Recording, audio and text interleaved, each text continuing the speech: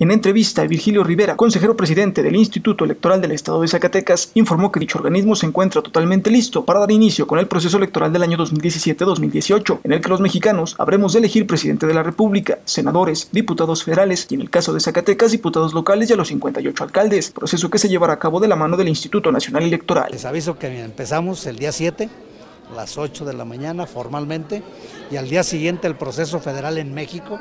al cual vamos a asistir todos los institutos locales porque firmamos un convenio respectivo y asistiremos al arranque de esto que es un proceso coordinado. El funcionario estatal recalcó la importancia de en todo momento velar por la democracia de nuestro país, garantizando en todo momento el respeto al voto del electorado zacatecano, así como un proceso equitativo y transparente. Donde habrá elección concurrente, institutos locales de todas las entidades federativas y el Instituto Nacional Electoral. Con imágenes de Juan Carlos Díaz reportó para Canal 20 Juan Pablo Castro.